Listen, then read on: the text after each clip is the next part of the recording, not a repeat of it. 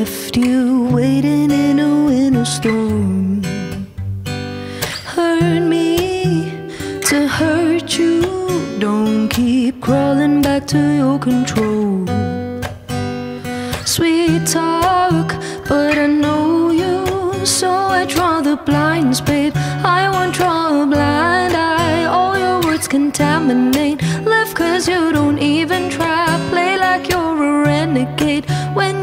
Are not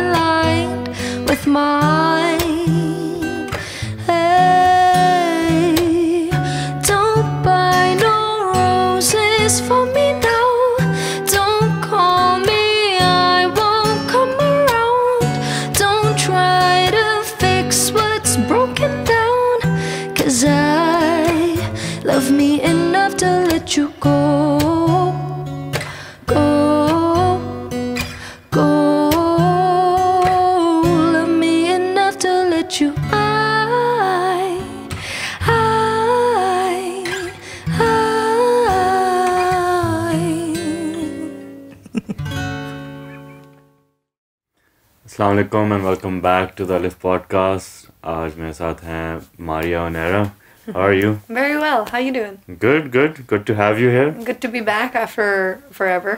या या it's been it's been a while Yeah. I actually don't remember the last time. I think I just said two years earlier, just like I think it was pre Covid it was pre-COVID. so that would make it like Three- almost three and a half Yeah. or three whatever Oops. time's flying Yeah. but you've been busy with lots of things it Yeah. seems Yeah. Here and there. Yeah. I try to. I mean, I think after lockdown, it just sort of became that moment where I'm like, oh my god, I gotta learn how to do everything. yeah And so I learned how to do everything.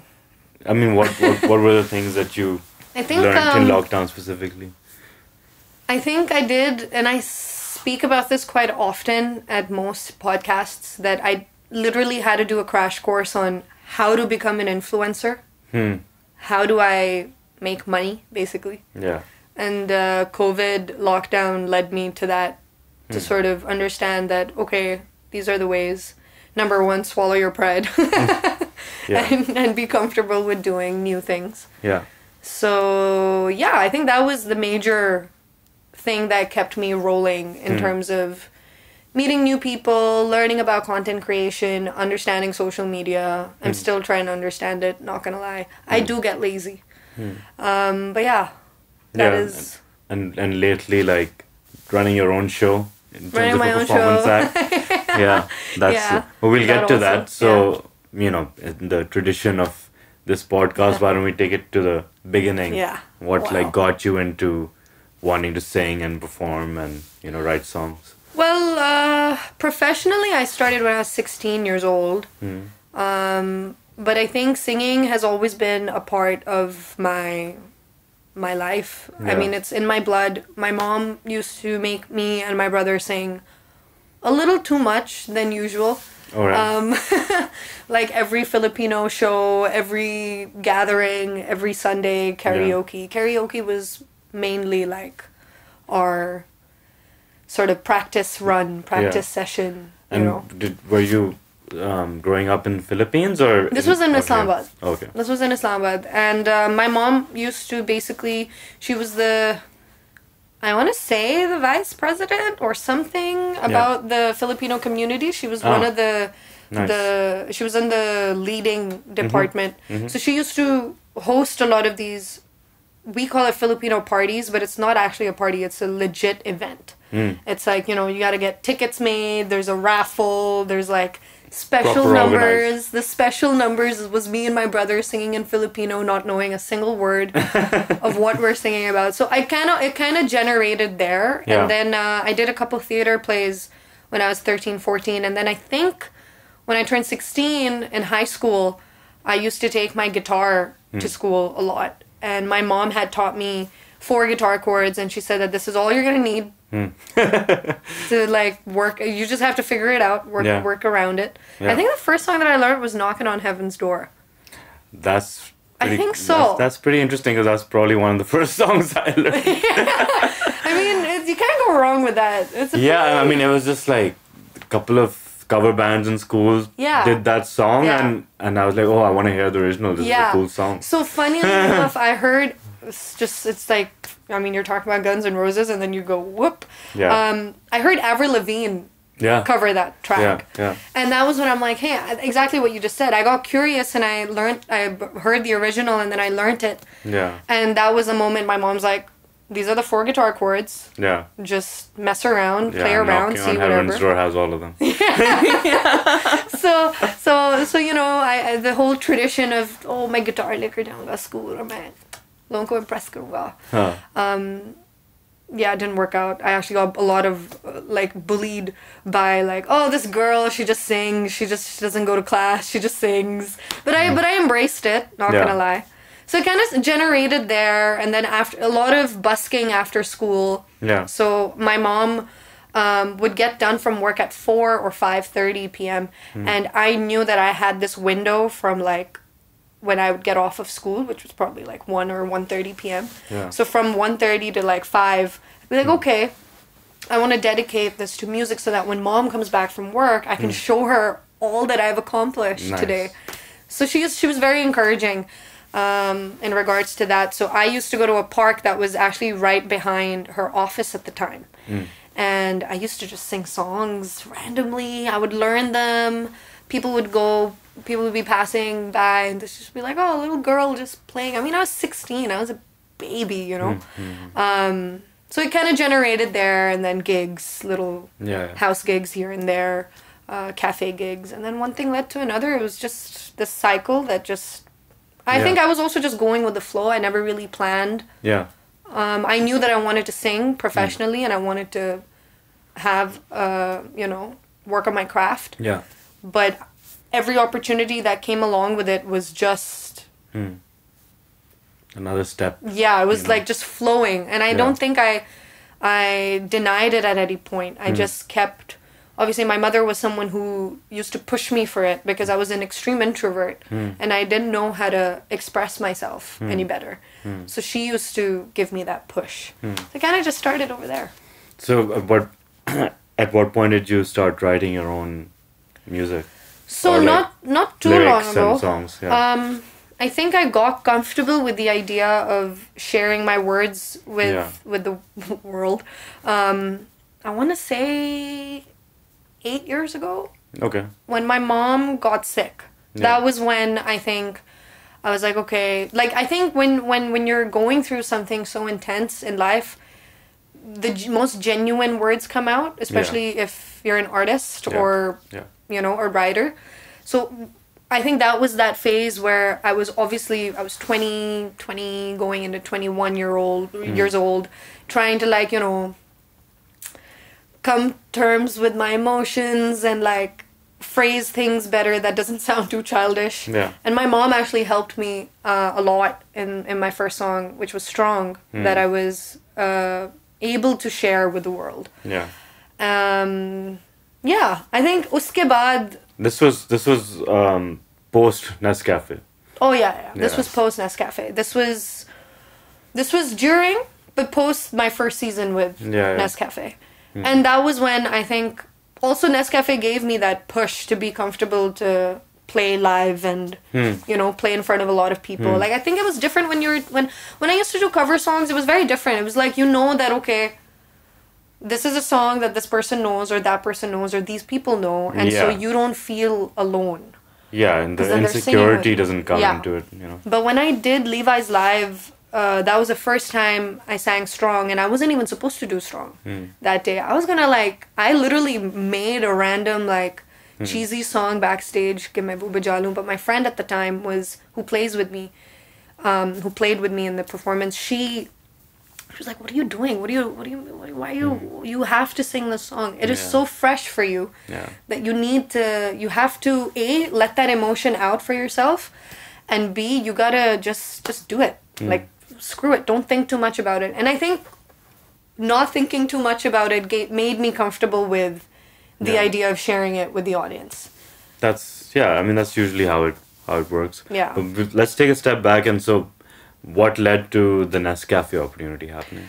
that was also very random Yeah. that was really random so when i when i uh when I turned 18, or I think I was turning 18, I went up to my mom and I was like, you know, I'm not a dumb kid. I'm a pretty bright kid. And just because my grades aren't top notch doesn't mean that I am dumb. you know, like I know what I Don't judge me on my I was like, grades." Mama, I know what I want to do. Okay, I know that this is a, a lot like better said than done or hmm. whatever, but I know that I can prove myself as an artist hmm. for you to believe. I mean, it's not that she never believed in me. She hmm. she obviously wanted me to excel and and go out of the way and cross certain boundaries for Yeah. my own like get out of my comfort zones and stuff. She wanted me to do all of that, but obviously a parent is a parent. They always want you to finish your education, right? Hmm.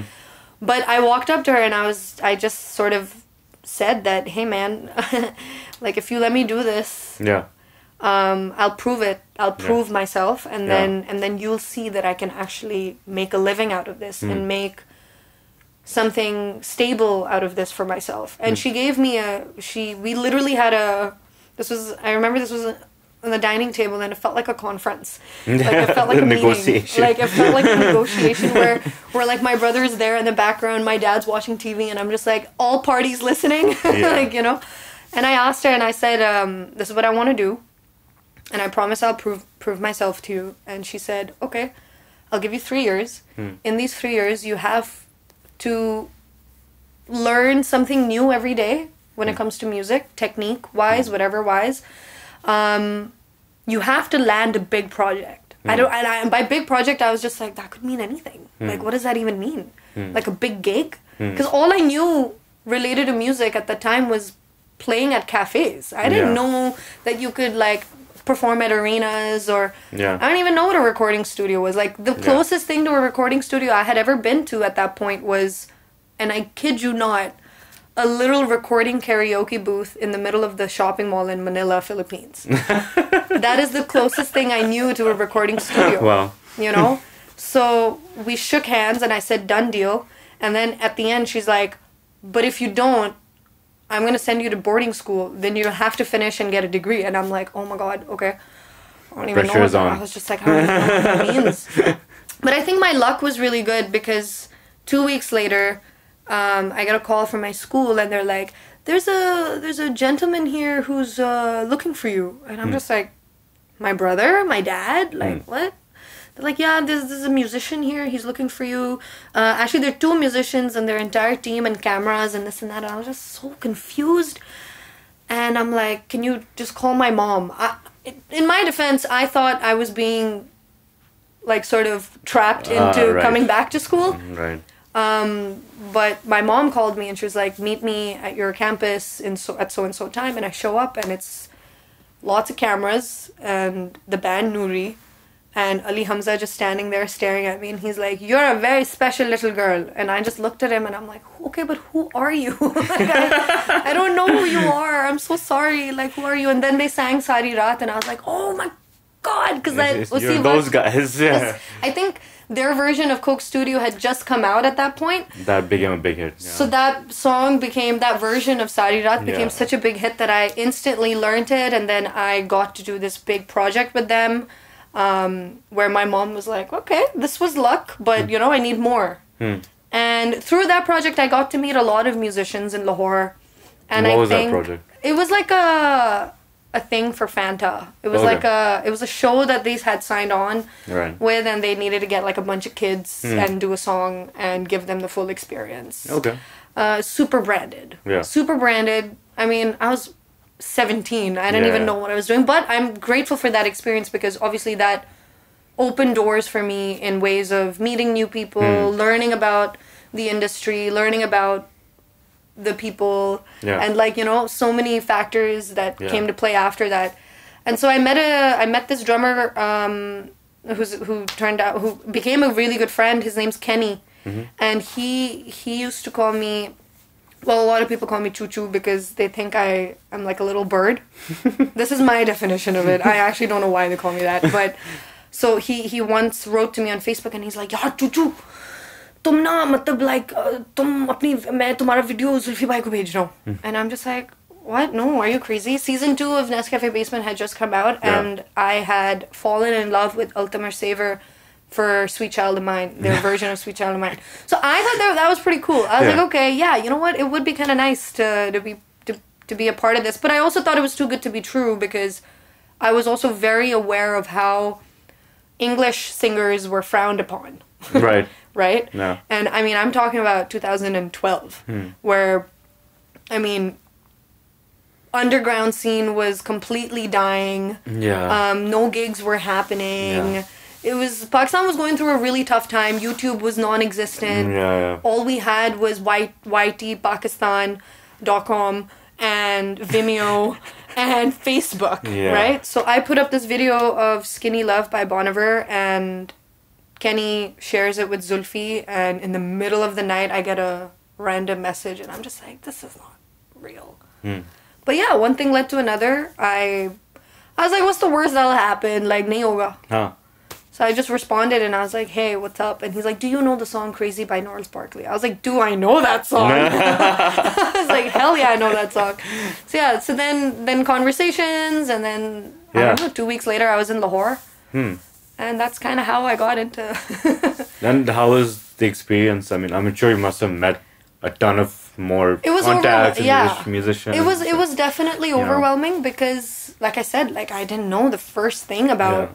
collaboration. I, Yeah. I didn't even because even with the Noori project, like everything was already done. We just Mm. had to show up and basically be told be told to do what what Mm-hmm. they wanted us to do. Mm. With Zulfi, it was like a whole like he really Zulfi bhai really, really cared about your opinion. Hmm. He really wanted to sit down and level with you and, and wanted to know what do you feel when you want to and that for me was comforting and that hmm. for me was new and that was when I was like okay I could get used to this. This is this is a modem of work that I'd like to yeah. learn from and like learn how to deal with and and enjoy it at the same time. Yeah. So yeah that was definitely a factor that came into play. Um, Hmm. meeting so many musicians we all used to live in this one they kind of like booked the guest house so we that whole floor above was just ours Yeah. and we were such nuisance to them. I'm so sorry. I don't know if they would ever watch this. Those guys, those I don't even remember the name of the,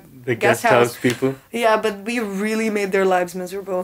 Um, but yeah, it was a fun experience. And then briefly there was a all girls yeah, band too. so that was season two. Uh, sorry, that was season four. right. Um, that was my second season with them. Yeah. I wasn't intending on doing that season to be fair because my mom was really unwell and Right. between my brother and I we used to take a lot of shifts but my mom was super adamant for me to do it. She was like, "Look, I don't even know the full idea, but this sounds like if they've come back, that's mm. got to mean something. Mm. That's got to mean something within you." Mm.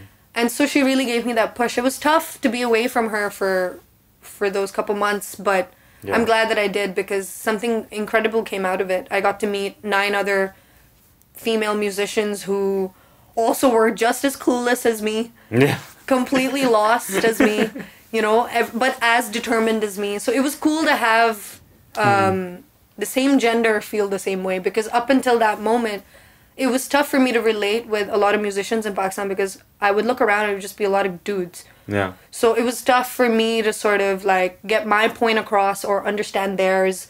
So it was nice. It was nice to to bond and get to know uh, female musicians and singers because for once at the time, like you know, it felt like okay, I'm on the same page Yeah. Yeah. with them, and that was a fun. That was a nice, Yeah. cheeky little. Yeah, it was. I mean, I think a lot of people expected that that might become a thing. Yeah. But you know, it was just like also- a little drop. I think. I think it could have become a Yeah. thing, but I think a lot of.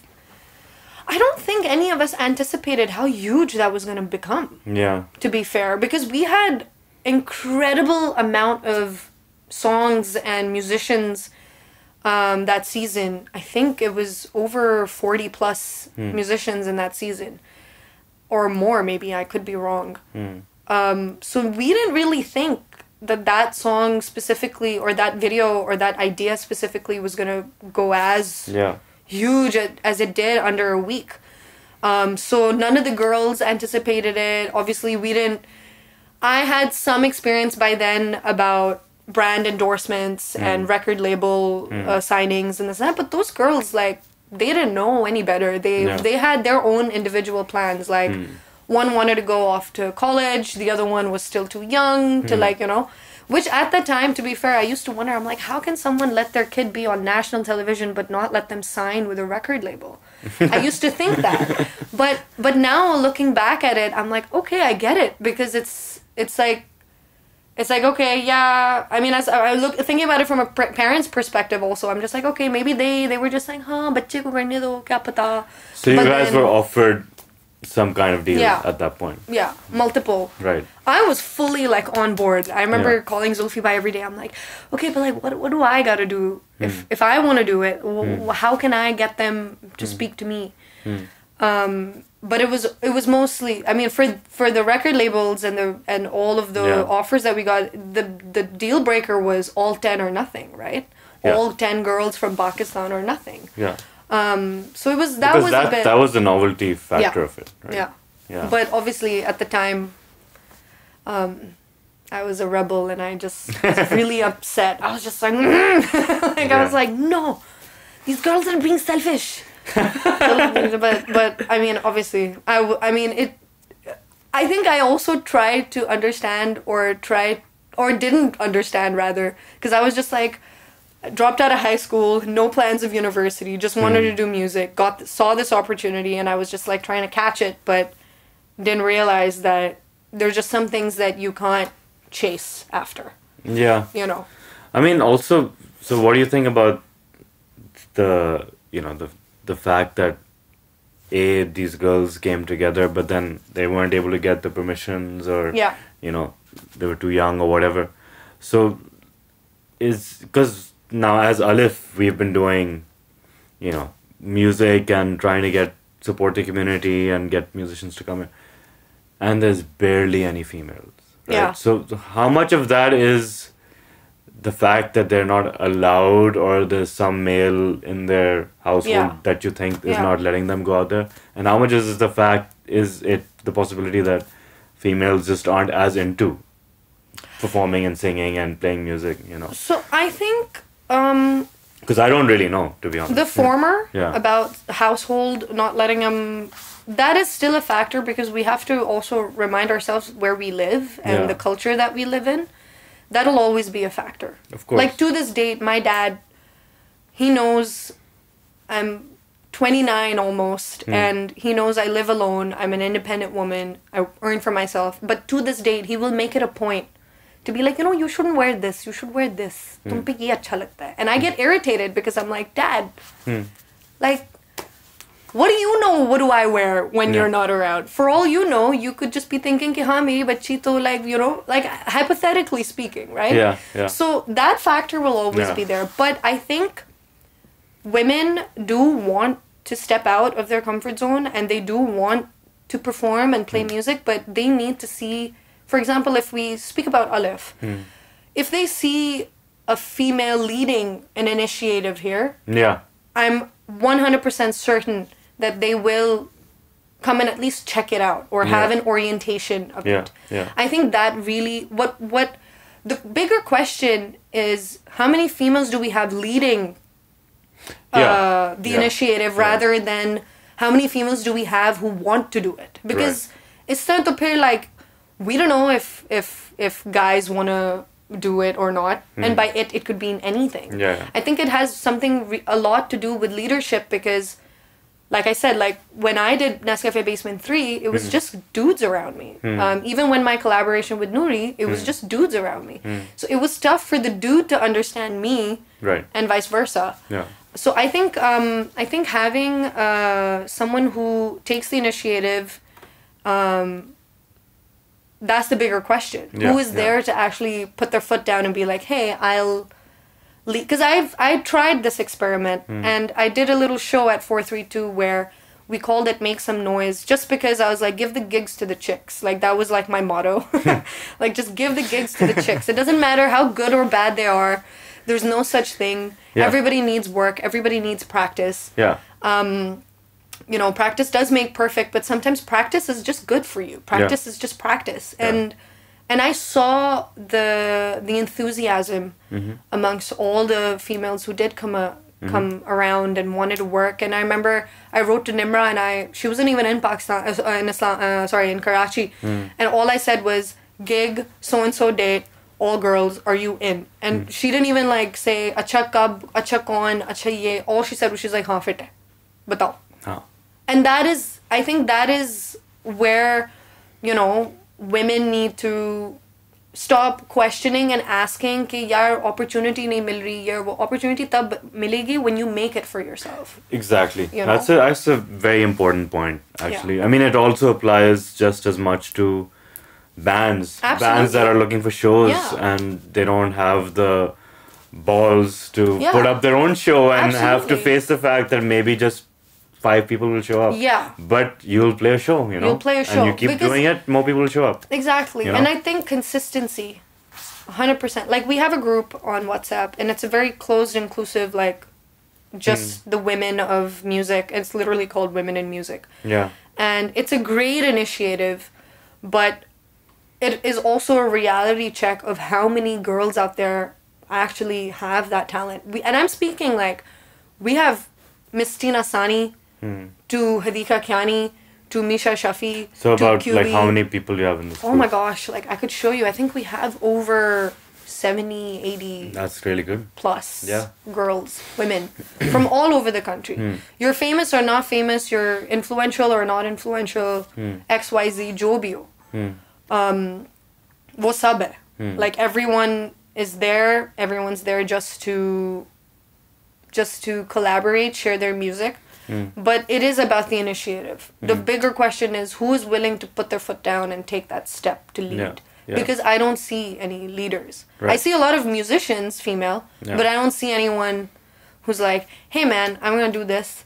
And I also understand why. It's not an easy job. Like that gig that we did at four three two, that was tough. That Hmm. like the only reason why I never redid it, even though I want to, Hmm. was simply because I'm like, that's a lot of effort that you're putting in. Um, and it's tough, especially when you're a musician yourself, because then then the question relies on you, right? Do I look after my own stuff, or do I try to create a balance of for other girls Yeah. out there? Do Yeah. I have even enough money to support this? Yeah. You know, a lot of things that come into play, but I don't think that we lack female singers or musicians. Yeah. So then I think let's come back to like what has the post Nescafe era been like? Because obviously Nescafe was a great launch pad for you, and Yeah. I mean I myself discovered that you existed through Oh, cool. Nescafe, cool. and and you know I'm still a fan. Thanks. Um, and that kind of there was this confidence that you put out. I don't I don't know if that was whether you were genuinely confident or is Yeah. what you learned to present yourself as. A But little it bit was of both, I think. yeah Yeah. I think post Nescafe season four, to be precise, the all girl band, to be precise, Hmm. so many things in my life changed in terms of professionalism, like my career, and also my personal life. Because that was 2016 was a huge turning point. Um, that was the year I lost my mom. That was the year I started writing. That was the year I became a wild child. that was also the year I started properly earning. So hmm. I think that was, I, again, I must have been 20, 21. And so when you're at that age and you start earning well for yourself at that point where you don't have the responsibilities to pay rent or Yeah. bills or, you know, I mean, I used to help around the house as much as I could.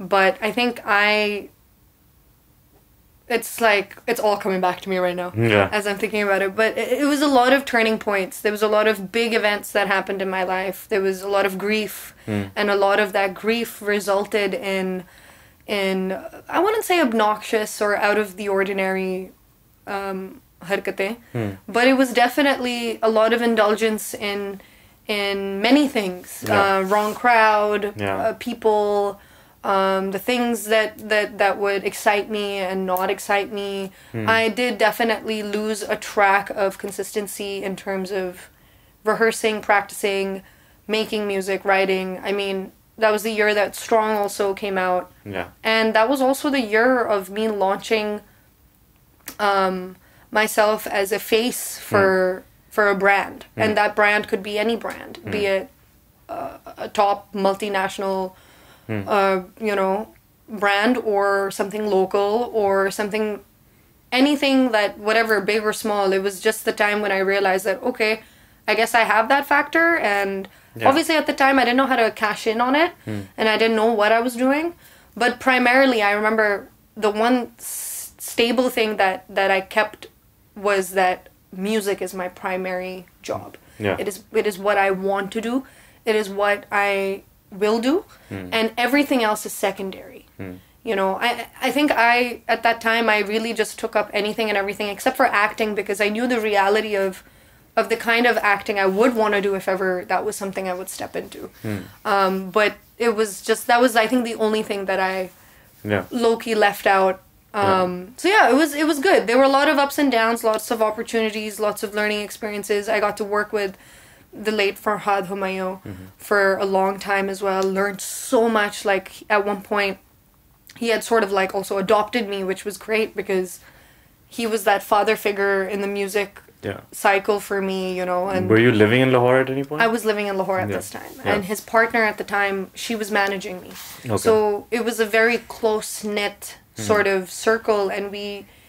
That was the period where I, a obviously learned so much musically, and he was he was the old, he was Farhad Humayun was the person who taught me what quantization is. Can you imagine? Like these are like little little things that I picked up um, at the time. But I also realized that that was the time where I wanted to become independent and slowly was walking towards Yeah. that line. Yeah. And when it came towards personal experiences in my life, you know, as an artist, you reflect whatever you go through in your own personal life. You kind of translate that into, in my case, music. So went through all of that as well. Learned so much about character Yeah. and how to assess someone's and um, learned a lot about narcissism Yeah. and how evident it is when you're with someone Yeah. uh, be it in a relationship or a friendship like you know these little factors really started to come into play and i think i was a bit distracted and my attention was a bit diverted hmm. that i not deliberately but i kind of ended up taking like this weird break Yeah. where I wasn't writing, I wasn't performing, I wasn't really making any music. Hmm. And there were these two years where I really felt like, okay, like I'm losing time, Yeah. you know. I was 23 at the time when I realized that I am done with Lahore, done with Islamabad. I mean, I was done with Islamabad ages ago, Yeah. but at that point, I was obviously living in Islamabad. My family is there. Hmm. So there was so many new experiences. My brother was getting married. My dad wanted to get remarried. Um, you know, I wasn't working. I wasn't making money. I was pretty much living off of whatever money I had made hmm. till then. Hmm. And so my thoughts and my mind and everything started just cloud, like becoming a cloud.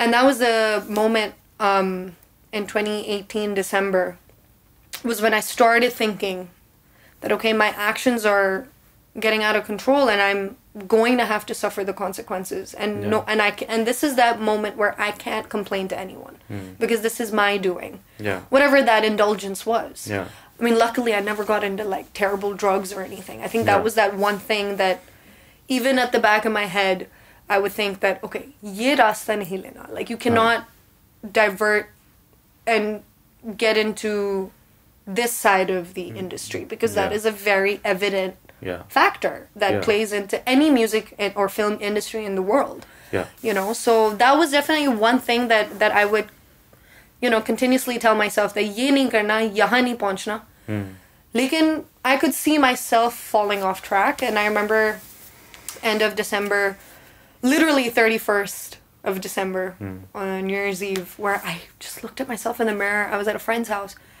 and it was a really sad evening because you know how new year's eve is so overrated now Yeah. so I really took it to the heart where I was hmm. just like, what am I doing with my life? And that was the spontaneous decision that I made that, okay, I'm going to look into getting out of hmm. Islamabad. Maybe Karachi, I don't know. Again, didn't know any better. I was 23. I didn't know any better. I didn't know कि क्या करना है yeah. Or किस तरह करना Because like yeah. for me, it was always at the time. It was always like, oh, Karachi. Yeah, I mean, how bad could it be? How difficult could it be? I did I did six years in Lahore, Yeah. but um, yeah. And then March 2019, I moved here, and I think it's been almost over four years now, and it's been incredible. I mean, I think that was when I met you as well, and Yeah. I got to know about Alif, and I and 432 was just becoming a thing. I think Yeah. by the end of 2019, it had been established. Yeah. So I think company really matters. Mm-hmm. And that was when I was able to grow as an artist, learn things as an artist, work on my craft, and surround myself with people that I knew that I would be comfortable with Mm. and where we would benefit off of one another in terms of music. Yeah. So, what do you feel it is about Karachi, other than the fact that it wasn't where you grew up? You know, Yeah. so it freed you from, I guess, your family obligations yeah. and things like that. But what is it about Karachi that is different than because you've? I mean, there's, it's rare that someone has spent significant time in Islamabad, Lahore, and Karachi, right? You either you stick to one Yeah. and you, you go with it.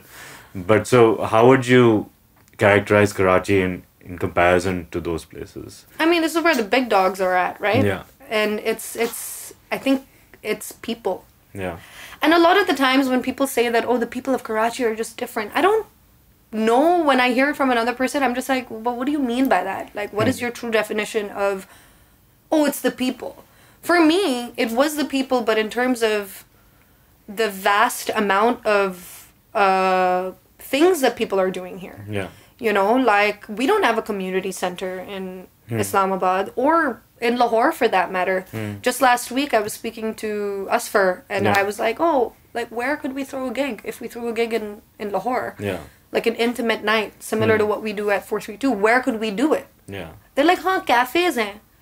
I'm like, "Yeah, but that's so 2010. Like I'm so over that." Like that yeah, is- and, and they're run by people who run cafes. They're not exactly run they're by not run by musicians so people. that is definitely number one that Yeah. played into into that factor that okay this is a place where i could probably fit in because we have a larger community here Hmm.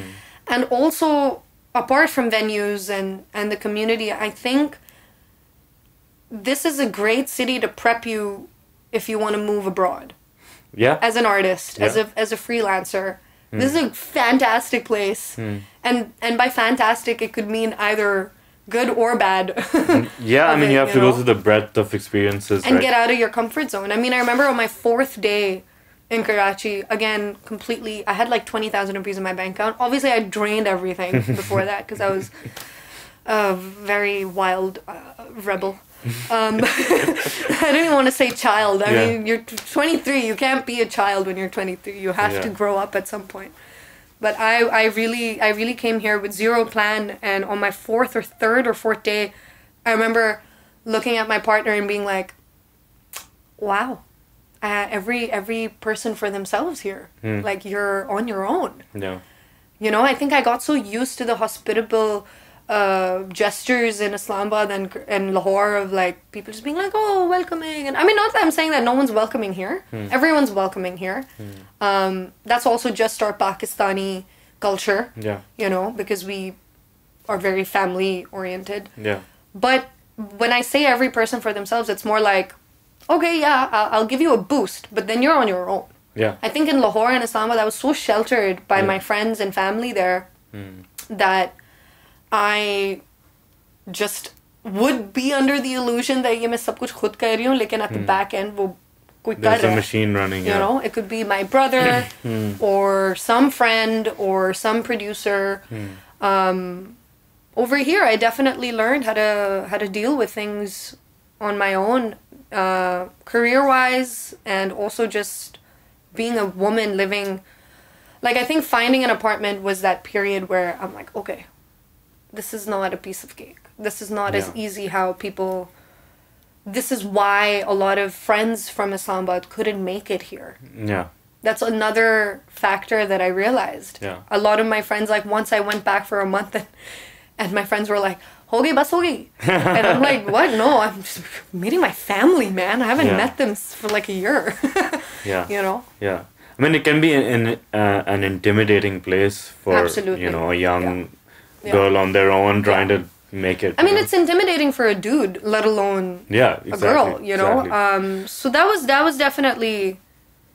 That was definitely something that kept me here because I also enjoyed it. I think the liberation of when you're able to achieve something out of the ordinary or out of your ordinary, you want to challenge yourself more. So I got comfortable with the idea of challenging myself um, in different ways. Um, yeah.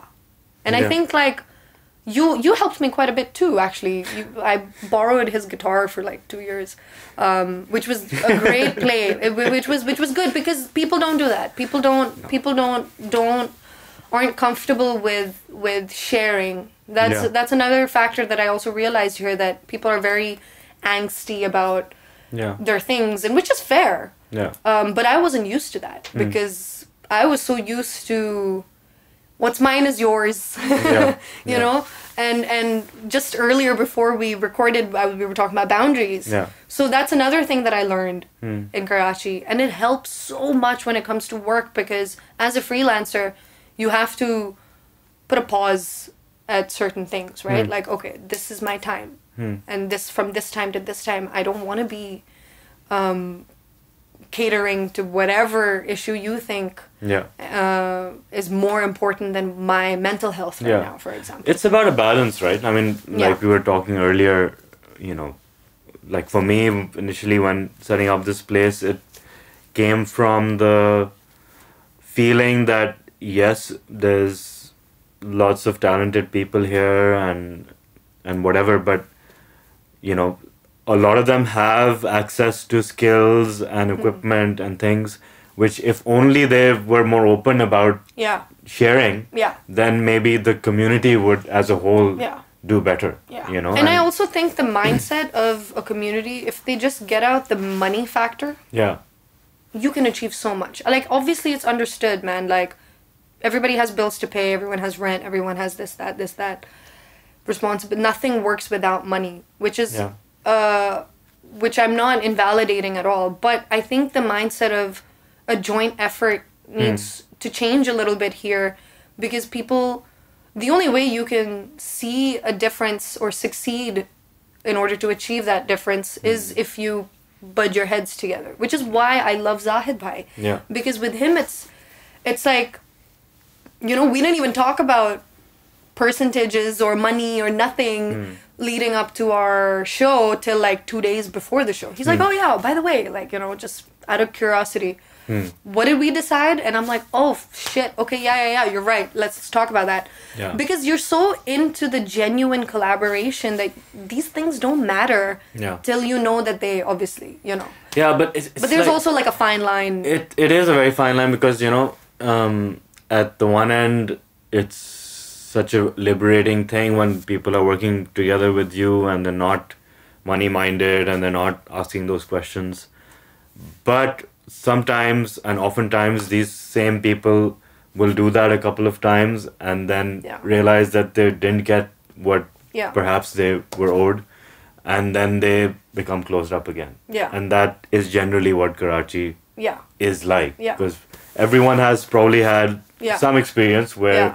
They realize that they need to, need to put their wall Yeah. down Yeah. you know but unf- unfortunately that also doesn't lead to more opportunities so you Yeah. need to find like a balance a balance yeah you know and like you know with Farhan and 432 as well i commend uh, that man yeah i mean he he's doing all kinds know. of shows shows that are how he's doing sold out shows that have no one showing No- up yeah, yeah. you know but he's just pushing on it's it's truly inspirational and i'm not just saying that because he's our friend. I genuinely mean it. Like like it's it's it's really it's and i've known him also for many many years. Hmm. so i've also seen a lot of successes and Yeah. a lot of failures that he's been through which he owns up to 100% yeah. And he'll like also laugh it off now. Yeah.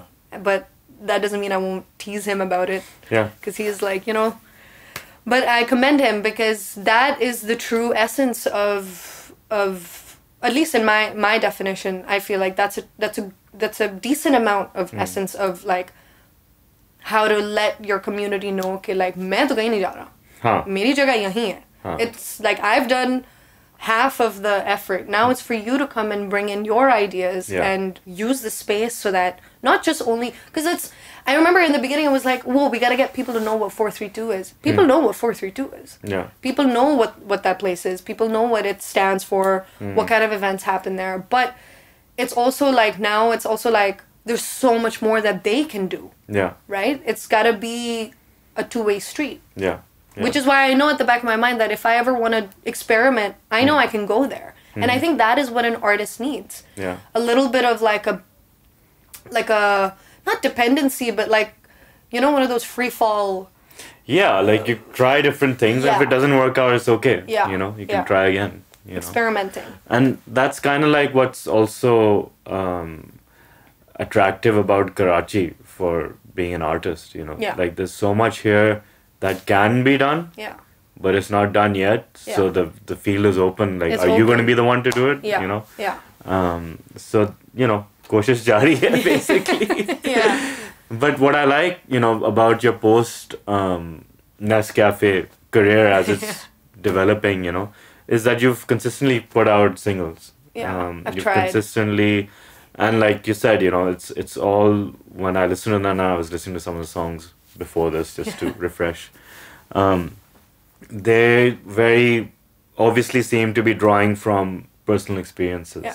and there's an honesty in it, you know, which is as a you know producer who's promoting trying to promote artists to write more authentically Yeah. you know that's nice to see and Yeah. but i think that's also missing on a larger scale in most of the artists around Yeah. like a lot of people are doing things based on who's paying them to do what you know Exactly, yes, and it's yeah. whereas you have a balance whereas you know you're doing the Yeah. branded stuff and you're the face for a lot of things Yeah. but at the same time you've got this line of Yeah. your own music your own expression I think I think I, at, uh, I mean, yeah, that's a great way to put it because I I realized like when Strong came out and people were so moved by it, Hmm. the number one factor wasn't just because it was a song I wrote about my mom and her journey. It was it was the fact that it was so honest and raw. And that was when I realized that that is the kind of artist that I am. I can have all the influences in the world, but at the end of the day, it is what I want to put out there. yeah So it took me a long time to agree with the fact that this is the kind of artist I am, and I'm okay if if the masses don't want to listen hmm. to it. Hmm. It's it's okay. I don't I don't I didn't start writing or start being comfortable with the idea of sharing my music with people. I didn't start because I wanted यार ये गाना hit हो जाए ना तो बस like that was never the intention Yeah. because I think that it's a mindset. If you go in with that mindset, oftentimes the opposite will happen because you're just dependent on that manifestation. Yeah. You got to do half the work also in order for that to come into play. Yeah. You know, and so I think there was a point where I'm like, okay, ठीक है. अब मैं अपने लिए सिर्फ release करूँगी and I don't care about the numbers. I'm not going to get myself distracted. There, वही बात है, it's like a fine line. I care and I don't care about the numbers. So I don't care about the numbers when it comes to like me sharing my music. yeah But when it comes to content creation, that is where you'll see me go like, "Oh my god, I lost 200 followers. Shit, why?" but that's also because I'm so dependent on my Instagram because it's like that's my office. That's my 9 to 5. That's how I yeah the money. brands are coming and looking how you know what your What is your like. engagement? Yeah. What is your this and that? But when it comes to music, I I just I just think that if I'm honest with myself Hmm. and not even with my audience, because the audience will automatically be captivated if they see that honesty, Hmm. right? They'll be able to um, resonate if they see that that rawness, that honesty. If I, as long as I'm on that track, I should be okay. Yeah. And as long as I'm practicing, like I try to practice every single day, Hmm. and I've made it a point where, where if I don't practice, at least before going to bed, I should try something or two, just so that I can. It's like going to the gym. Yeah. it's like when you skip a day, then you're just like, oh my god. Or if you skip three days, then you're like, oh my god. yeah So i mean it's also at the end of the day it's a vocal muscle yeah, right it's also not just consistency with throwing music out. It's Yeah. it's how consistent are you with yourself. yeah You know. Yeah. I mean, so why don't you tell us a little bit about the songwriting process for you? Is it have you standardized it where it's a certain process that happens every time, or does it just happen differently? It changes every now Yeah. and then. Um, nowadays, when I'm writing it, so I started music production Mhm. because uh, last year, was it last year? Yeah, last winter I put my foot down.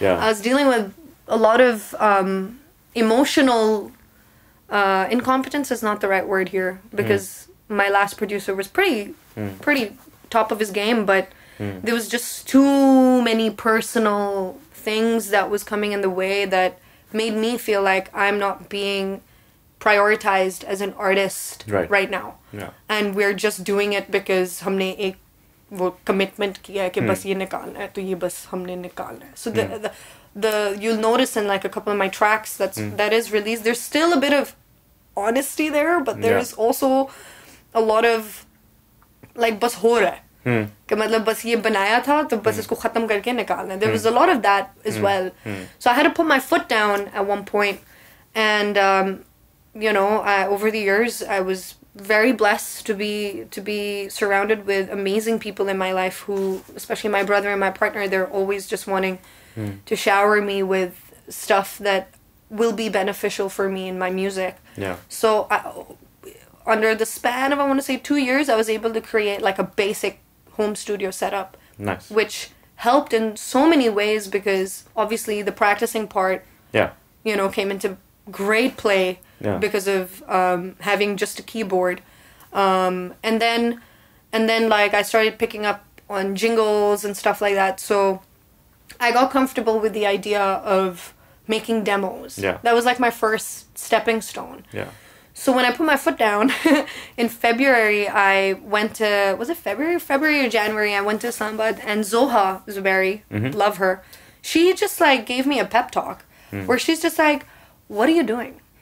Like, why are you dependent on so and so to make your music? You know how to write, you know how to play, you Yeah. have like you comp your own vocals, mm-hmm. you track your own vocals, mm-hmm. so you have some sort of sense of how to record." Yeah. What's stopping you What Yeah. is where is your confidence in taking the that next step, yeah why you is your confidence lacking in that only Hmm. and so i really thought about it and i'm just like okay yeah i need to stop dwelling over the shit that's been done because there's nothing that i can bring or reverse this time Hmm. so i got super inspired and i came home and i spent an entire week just I was like, okay, here it is. I've made three songs, and the writing process of it is is just so random, man. I don't know how to tell you. I have no like. Like so. fix- So I mean, f- do for you do lyrics come first usually, or or the melody? Yeah, lyrics. Sometimes lyrics. Hmm. Um, melody will also come into play. Vocal melody and lyrics normally they just come together. Yeah. Um, but the music part comes like when I'm sitting and I'm practicing random songs for my vocals. Mhm. Um, I'll just play around with different chord progressions and yeah. And things will fit. and then things will just fit. Yeah. And and I just record. I have like hours and hours of tracks of me just singing gibberish Yeah. Yeah. Of you course. know just gibber and um I, and i and i've also realized that i enjoy writing with someone Hmm. because it's just so easy to bounce off ideas Yeah. um but sometimes that's also that's also you got to find a balance in that because Yeah, and you have to find the chemistry. chemistry You know? so lately i've been enjoying um writing by myself actually Hmm. it's it has been uh, quite liberating also knowing that like because I reached out to Sinan and I was like, hey, so um, I I produced like three songs, Yeah. and he's like, why do you sound like that? I'm like, just because like I don't want you to judge them. he's just like, why would I judge them? I'm like, because like you know this shit better than I do. and so I asked him to master my album, uh, well, my EP, and Yeah. he. He was quite. I think he was impressed. I mean, he was like, "Okay, this Yeah. this sounds really good. Not bad for like a first. So you mix them yourself. I didn't mix them. Okay. I got him to mix it. Okay. Um, but I played everything. Yeah. Um, one song he featured where I was just like, "Hey man, I don't know what to do. Just do it." Yeah, Just like yeah. you know, because obviously you don't want to push. Yeah, you want it to be natural and Yeah. organic and stuff. So a lot of it was natural and Yeah. organic, which is why it felt so right. So do you find now that you are doing more production or pre-production um, on your own, do you find that that's making the vision of what the song should be clearer for you? Are you more like, um, like you know, a lot of singers and songwriters come with a melody and vocal and give it to a producer, and then they don't know what's gonna happen with it, Yeah. right? yeah, and then they might come with two, three different versions, and they'll just pick one yeah, and that's it yeah, you know but sometimes when the artist has a little more Yeah. confidence and knows what they're doing then Yeah. they can direct the producer like this is Yeah. what i want just execute you yeah, know yeah. I the latter for sure. Like. I definitely do feel more confident when it comes to me explaining what I'm hearing or what I. Because obviously the initial like even in a demo you have that control. I have that control where Mm. I'm like, okay, these are the kinds of sounds that I want. These are the kind of strings that I want to be, uh, that I want to have playing at the back, Mm, Yeah, and like you know vice versa.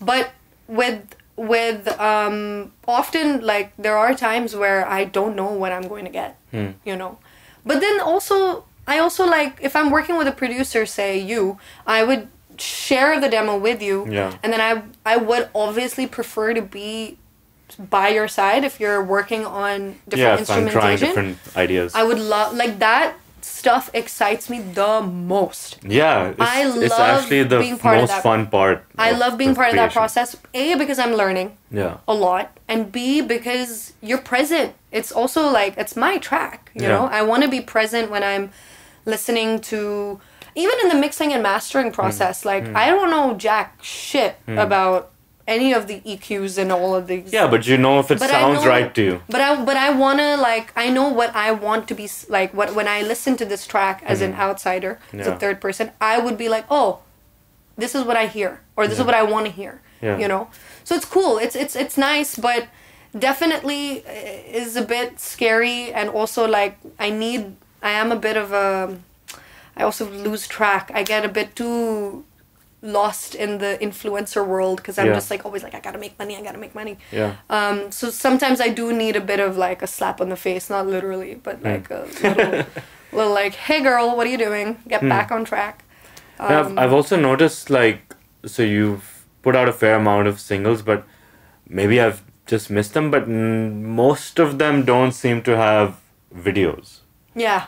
right Yeah. so is that a conscious decision or just a fact of like not having resources to do a video or Yeah. you know Not having resources. I mean, and not even resources. It's more like making a video is not cheap.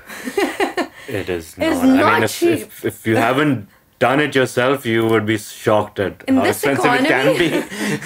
be In this economy, I mean, I mean, I made a video for one of my tracks called Fantasy. That was like zero money. Hmm. You know, I mean, perks of having a cinematographer as your partner. You'd think, Uh, and by the way, you one of would the best. yeah, I mean that was. You would think. I didn't say that, but that was in the back of my mind. Like you know, you have everything. You would think. but but you know he he was very supportive uh, when I went up to him and I'm like hey I want to do I want to make a video but can we do it at home and do it very for Frugally. like zero money yes. Like you have a Sony camera don't you Yeah. Um, so that was one one factor for sure. But but otherwise, it's it's really tough. I think to answer your Yeah. back of the mind question, Yeah. Mo and I we've been wanting to make music videos, but he obviously comes in with the whole like, "Hey, I made a budget sheet." I'm like, I don't want to see it. I don't wanna- I mean, he's coming from a world where he can yeah. he can have then- the budget sheet. Exactly. and then also like I know that he has some mad crazy ideas and I know that like if I'm not able to fund it the hmm. way the vision requires the funding. Yeah. it's just not going to do justice to his ideas. So then Yeah. I I take 10 steps back. Then Yeah. I then I refrain from even thinking close to Right. asking him. But I also think it's it's a lot of timing. Like the the one video that we did do together, that was also just like random. I think that's the most that's how I would personally like to work with my partner. Yeah. I don't want it to be super worky because Yeah. it's also not really good to No, gel. kill the vibe, Yeah. you know. Um, but it's it wasn't really a part of it was also like, hey man, back in the day, like you know, in the '90s, we would just release one music video or two at most, and then the rest are singles. Yeah. So I think I'm still like I have that slight mindset, but Yeah. I think um, yeah. No. I go on. think I think a song, like you will know, or, like one would know that okay, this song deserves a bloody music video. Yeah, This you, can't you, you just be a single. Usually do. You know? Usually do. Like if you write a bunch of songs, you're like, this is the one. You know. This is the one, especially like when it's obviously I would love nothing more to have all of my songs have videos because the visual experience also enhances the audio experience, but Mm. But I think I would most definitely choose it in a in a way where I would think twice and be like, okay, this could or but this couldn't yeah. but this should, you know? Yeah. And then that should, I will proactively work my way Hmm. towards it. Like one of my songs, All I Hear, hmm. I initially wrote it with um, my last producer. We wrote that song because I was like, I want to write a track about keyboard warriors hmm. and how, you know what I'm talking about. Yes, I know very well. so I was like, you know, and and and and the hook of that song was really interesting because I it just started with with me. We were on Zoom because he lives in Australia, so we just started. I was just like, hey, what if we just do all I hear is na na na na, like you know, like that is all I hear, and that actually became the hook Yeah. of the track. Yeah. And so when the song came out to play, it gave me super Billie Eilish vibes. I was like, okay, this song is dark as hell, Yeah. and इसकी video बननी चाहिए. Huh. So that was when I proactively like got in my zone, walked up to um, uh, Sarah Sefi, who was the CEO of Drama Queen Productions, and she's this, she's just this super driven, like wants to make like direct videos, and like she was so passionate that I hmm. called her over one day and I was like, this is not final, but this is it, and can you do it? Hmm. Can you make this happen for hmm. me? And she just went like, girl, I will get us a sponsor also. Then that was a fun little collaboration that we. I think as an independent artist, if you, unless you have like bajillions of rupees in your bank account, Yeah. then you can pull it off. But Yeah. otherwise, you need a funding. Yeah, actually, know. that was gonna be my next question. Yeah. Since you have these, as we mentioned earlier, like these two sides, one that is doing the branded stuff and the sponsored stuff, etc., and one that is pursuing your own art. Yeah. Um, do you see a future where you can meld the two in some way and get those guys to not direct you and you direct them what it's they want? it's a tough you know? it's a tough little swirl for Yeah. sure because I've tried. Yeah. I've I've really uh, boy I've tried. When I got that budget sheet, Yeah, I was like, yeah. okay, let me let me Yeah. see where I can get this much money from because I sure don't have it. Um, and I mean, like if you look at it purely like mathematically or whatever, it's just ultimately, I just think it's a matter of your profile getting to the point Yeah. where you can dictate the terms. You know. that and also it, it it it can't be i one thing i realized is just that not every brand in fact no brand Hmm. to in my experience would dare and dare is like a very crucial word here would dare to to fund something in like to fund something artsy unless it has a little bit of play in towards obviously their benefit. So yeah, it, it's it seems like it's always easier to get sponsors to support live events as opposed to a music video Yeah. financing or like an album or something. passion project yeah, yeah yeah because again i mean you know when when people are when it's a live show and they've got their branding up there and it's the demographic that they're looking for kind of makes sense Yeah. but with music videos they want to place their products and whatnot and it just doesn't Yeah. make sense for, Yeah. for us it's tough for sure so you've also had um, a stint with uh, an actual live band so I saw you perform Yeah. at 432 with them Yeah. that was how was how was that experience um well the performance that you came and saw was dope because Zahid Bhai was playing bass and Yeah. that was very random Hmm. because uh, the initial person who was playing bass with me at the time wasn't available Mm-hmm. and also I wasn't gonna do a full band show that evening Yeah. that was just gonna be me and my instrumental tracks at the back. Yeah. Um, but then Jasir was there and, and he was just like, What are you doing? And Mm. then we asked Arsil if he was free and Zahid Bhai was already coming. So then we just backstage told Zahid Bhai like the guitar chords. And Yeah. Zahid being Zahid, he picked up on it quite quickly. yeah. So that was a fun, fun, fun experience. I mean, it's always, as a singer, it's always convenient and easy um, to be playing with a live band because then your entire focus is also on, at least my focus is on how do I pick the crowd up. Yeah. Excuse me. When I'm playing, if even if it's just acoustic, it's tough because then I'm thinking of time. I'm thinking of what's the next chord, what's the next line Yeah. okay i look up and i'm like all right the audience is dying like how do i bring them back up like it's like an accumulation of 20 things Yeah. Happening and coming into play all at the same time so it's definitely more convenient but having said that it's also just convenient when you do it on your own Yeah, there's You the know, pros and like, cons. there, there are pros and cons i mean with my experience of bandmates i try to treat everyone equal Hmm.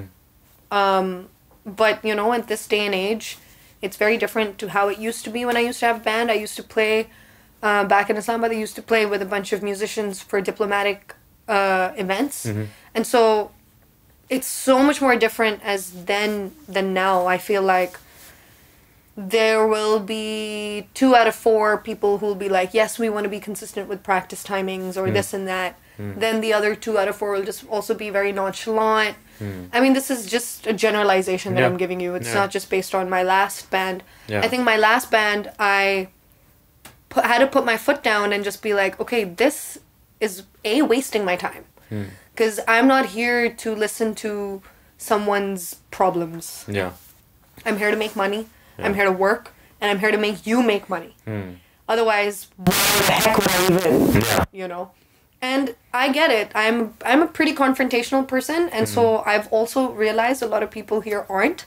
Yeah. They're very very like non-confrontational, Yes. Yeah. which then results in a lot of emotional uh, conflict. Mm-hmm. Which I'm just like, oh my god, I don't have time for that. Because look, at the end of the day, everyone has their own shit going on. Yeah. Everyone has their own problems. Someone's किसी का tyre flat हो गया है किसी ने पता नहीं कुछ कर दिया फलाना Yeah. everything चलता है ये जिंदगी है but when you're but when i at least expect myself to put all of that outside mm. bahir wo chorke when i enter this room mm. that's all about out there and i'm here and my entire focus is here and i'm just here to do what we're supposed to do mm. right so when that comes when that's interfered with xyz hmm. it becomes really tough yeah. it becomes very tough and I also looked at it from a larger perspective that I'm investing so much money, money that I don't have, mm into food which are basic necessities of Yeah. course but like food chai um, you know whatever jam room Yeah. um, i'm not asking my bandmates to pay Yeah. for that that's Yeah. that's coming from my pocket because Yeah. this is my show it's my Yeah. name on the Yeah. on the ticket Yeah. right Yeah. but वही बात होती है ना कि like when that when that respect factor is not there Hmm. and work respect then you also don't want to yeah. You put lose yourself the in- drive yeah, then it. i'm just like okay screw it i might as well just figure this out on my own Yeah. you know and i have a great management team where they're super supportive they Hmm. completely get it they trust me blindly i was telling you earlier when i got here about the system that i cracked Yeah. because i i realized i'm like okay karaoke music that is the game i'm filipino half Yeah. this is like in my blood Yeah. like mere khoon ke andar hai ye uh-huh. हाँ. कि like literally the amount of times people send me karaoke memes in a week Yeah.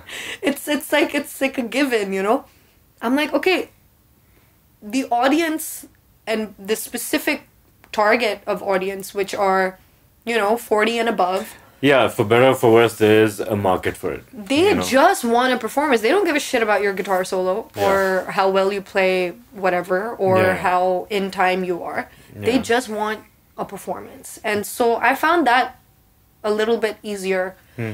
than than you know going through the whole because Yeah. by the end of it i'm i'm not really making any money then Yeah. then i'm putting everything that i earn into a production that is very half-assed Yeah. pardon my French. Yeah. But it is. It's because if, because like until unless all party members have agreed कि okay हम ये सिर्फ और सिर्फ पैसे के लिए नहीं कर रहे हम we're trying to grow together. Until unless we're all on that same page, it's impossible. In my opinion, I feel like it, it would be a little impossible. कि मतलब one person's like यार मैं उधर पैसे कमाने के लिए आया हूँ and then two people are just like no but like I think we can really like if we butt our heads together we can really get a consistent flow of gigs and you know Yeah. everyone's off it's never Yeah. gonna work Yeah. I mean, it, it either does or it doesn't. And Yeah. a lot of the time it doesn't, you know. yeah And maybe there's a time for it in the future Yeah. with different people or same Yeah. people, you know. yeah But so we've talked about the fact that you've released music consistently, but you haven't put out an album. What's your thought on albums? Is that like, do you just think that they're not as um, relevant in the days of streaming that we are living in? No. Or is this just a Herculean effort that you just haven't got to yet? No it's not it, I think albums are definitely still a thing um Well, certainly in the West, they are. Oh, I mean, yeah, all yeah. the biggest artists are. I mean, that's that's what I follow, other- Yeah, right? Yeah, So I think when I the reason every time I sit down, I'm like, I'm gonna make an album. yeah, I also will make a song and I'll be like, oh my god, this is so good. At least for me, it's so good. I want it out there right now. yeah, So over the last six months, I've really been fighting the urge to mm. release some of the music that I have been working on. Mm. Um, but I'm also like, okay, no, just release it all together so that you can once and for all have an album mm. out there. But I think it, it's I don't really think of either. I just when I when I'm vibing to a track and I'm like, oh yes, this is dope. This Yeah. needs to be out right now. Yeah. It's so trendy. It's so relevant or whatever. I'm thinking at that moment. So I, I just sort of just release it. I don't really. Yeah. I mean, obviously there is planning going into it. Yeah. You know, I I'll work on the art. Yeah. I'll work on like if it requires a video, I'll work on the video. yeah, Um, I'll do like the nitty gritty Hmm. promo stuff, but I've it's it's it's a tough.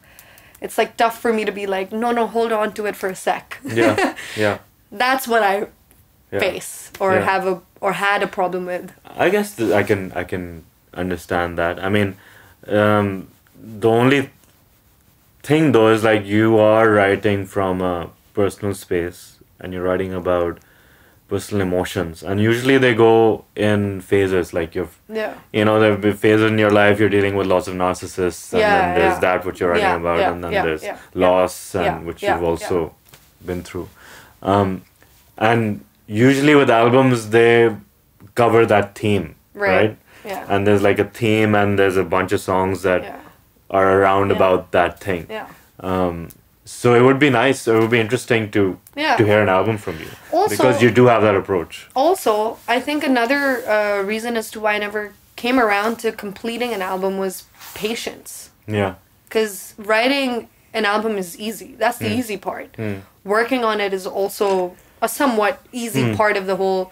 It's the weight that you have to um, sort of be on one on one with. yeah sometimes songs can get old for you Yeah. by the time they like come out, I'm that's my fear where I'm like oh man that one song that I wrote like it's called intro Yeah. I'm like is it is it is it old for me now so I have to constantly like go back listen to like my little version on my phone yeah put it on my speaker and be like nope not old still very very I can't wait for the world to hear it like type Yeah. of feeling as long, Yeah. as long as I'm feeling that way I guess it's good but I think a lot of it has to do with the patience because you know we live in a digital age and I look at all the musicians around us who are um, making trendy music. Hmm.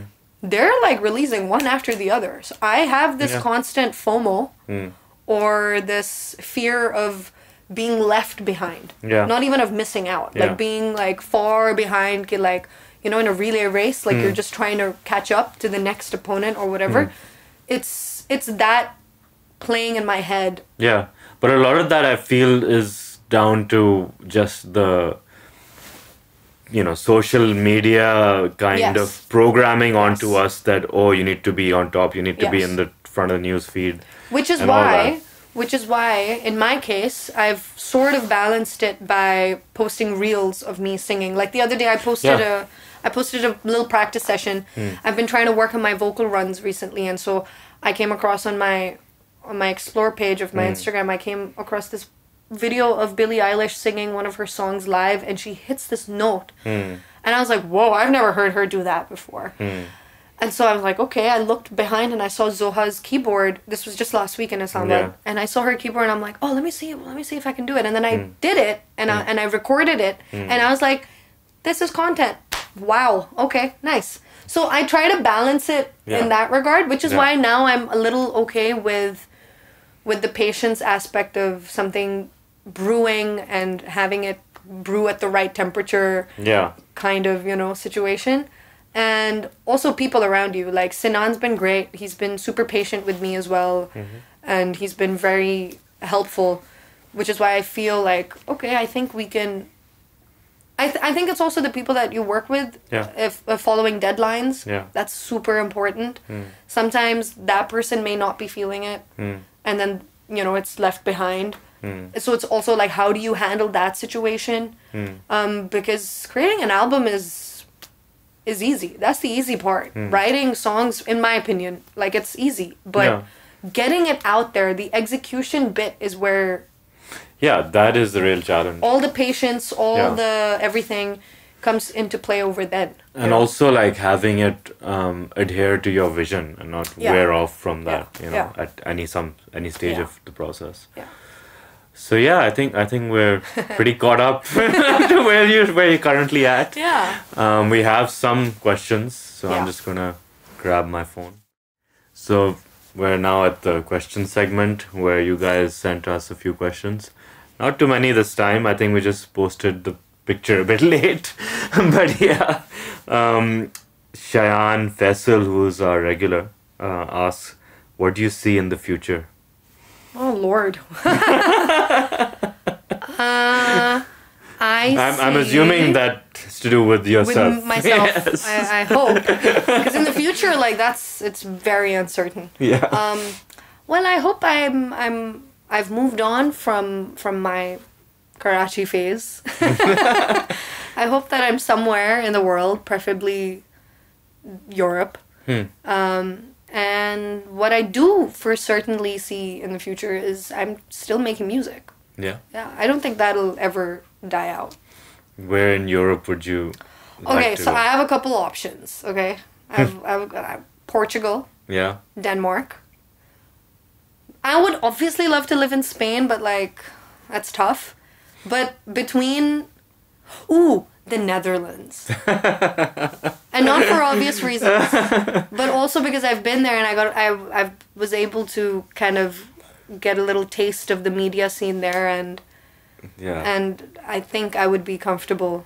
it's a very interesting place. Yeah. There's a lot of cheese Lots of cheese. and flowers, tulips. yeah, that's what Amsterdam's famous for. um, okay.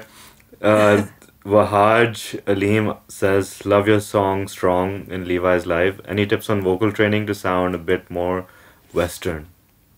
Oh. Um, listen to a lot of English music Yeah. and mimic mimic the way the artist is pronunciating pronunciating Enunciating. enunciating. I merged two. Pronouncing. Pronunciating. That's a cool word. You could add that to like my little dictionary.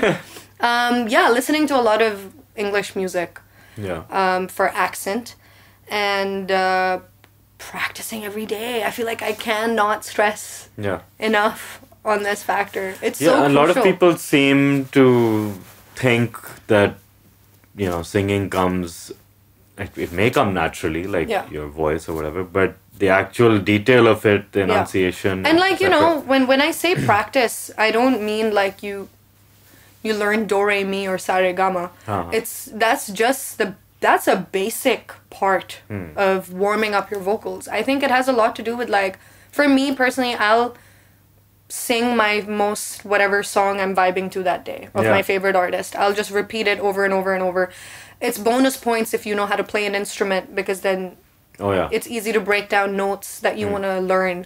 Uh, उस हिसाब से it's Yeah. it's cool, but just practice, practice, and listen to more English music.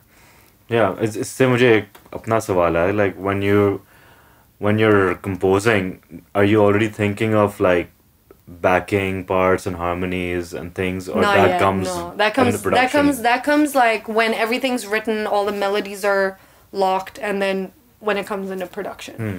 Also, like harmony, harmon, harmonizing, and all that isn't my most amazing forte. Hmm. That's like actually what I'm working on. Um, I'm working on vocal runs now. For three years, I was working on comfortably singing in a lower register Hmm. without losing breath. So I worked on that for three years, and then now I'm working on runs and harmonizing Hmm. different notes and this and that. Yeah, because that, especially because you have a Western style, Yeah. it adds so much. I would like for that to come naturally. Yeah, You yeah. know. Um, what is your favorite Pakistani or international artist these days? I think Pakistani separate and then international. Oh boy. Pakistani artist these days? Ah, that is a question. I really like Hannan, Hmm? Abdul Hannan. Yeah. I think he's he reminds me a little bit of the 2010 era of Yeah. acoustic music Yeah, yeah, and songwriting music. yeah. And he's also just a beautiful human being. Um, but obviously that comes later. His music is awesome. Hmm. His sound is cool. Hmm. So yeah, I think I think Hannan would be uh, the person that I'm listening to the most these Nice. days. Um, but then also I have like a favorite for every genre. Yeah. Not a favorite. Hold on, relax. Not a favorite. Like a, a preferred. oh my god, rock job singing.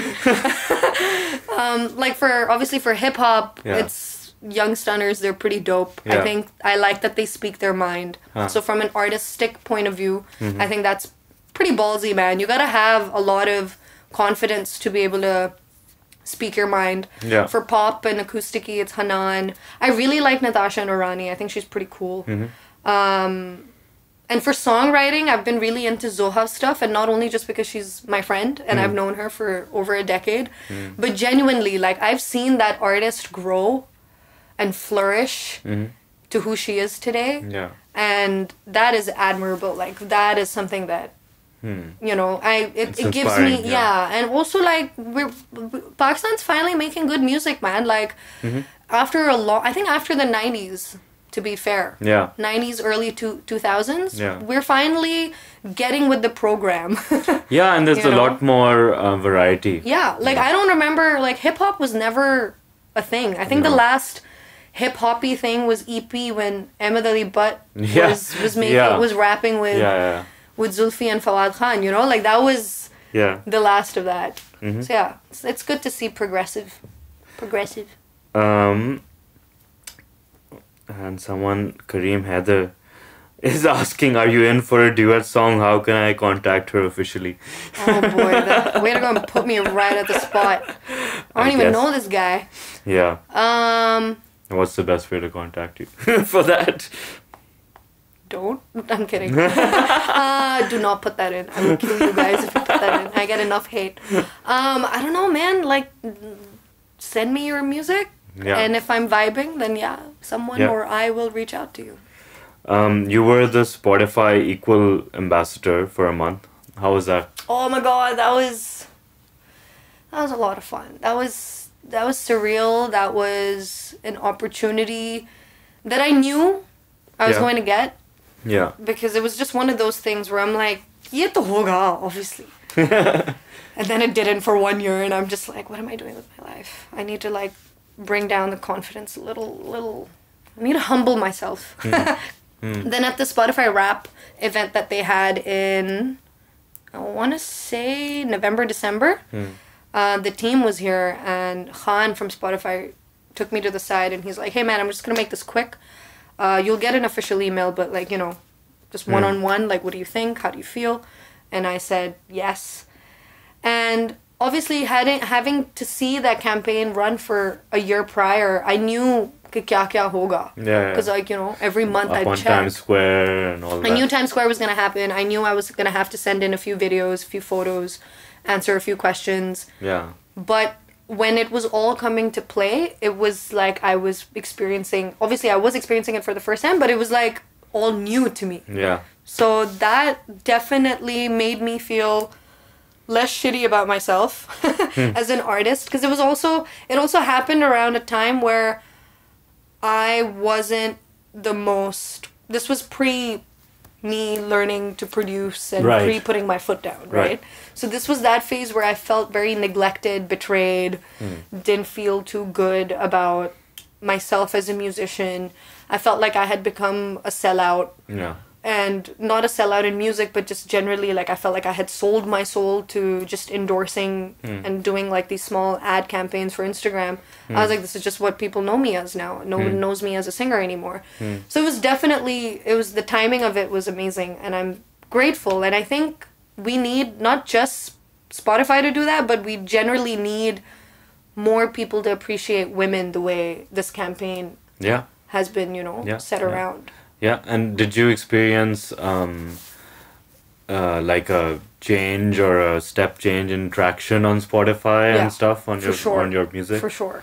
That's great. Absolutely. I think people became more accepting towards the genre Yeah, a little bit. yeah, yeah. Because it is. I mean, there's not too many people doing your specific Yeah. kind of music uh, locally, at least. Yeah. You know, so that's good. Um, how was the Dubai Expo 2020 experience? That was awesome. That was also pretty random, not gonna lie. Again, it was one of those things that I just knew was gonna come my way, but not like out of me being super like overly confident. It was Yeah. just that I was already in talks with the people from Dubai Expo when it was initially supposed to happen. But then obviously COVID happened and Hmm. Then yada yada yada. It was delayed. So I wasn't really banking on it until one day I just got a random call Hmm. from their marketing head and they're like, hey, what are you doing on so and so November so and so 20 so and so? And I'm just like, that's like in four days. Uh, nothing. like, you know, can take the Pakistan out of Pakistan, but can't take the Pakistani out of the Pakistan. you know what I'm trying to say? I probably Yeah. like jumbled that saying, but it was one of those moments where it was extremely last minute. Yeah. Um, but overall, surreal. I mean, that was my first show after two years. Oh, really? So to have that at such a big platform on their Jubilee stage was Yeah. incredible. I made Faisal Kapadia cry. that's, that's Um, that was that was another memorable. yeah, which I felt bad because I remember I walked out and um, my friend came in and she was just like, "Drop whatever you're doing right now." I'm like, "What? I just played a whole set. Can I get five minutes?" She's just drop it. Faisal Kapadia ro raha hai, jaake usse milo. And I'm just like. Why? why is he crying? I didn't know what to do. I was like, why is he crying? I was like, it's because you keep singing that song that makes everybody cry. and I'm like, oh shit.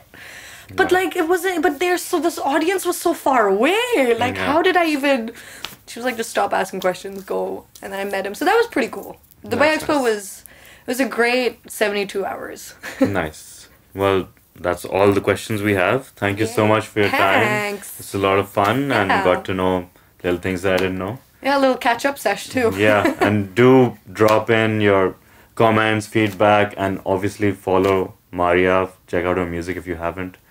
And we'll see you next time. Bye.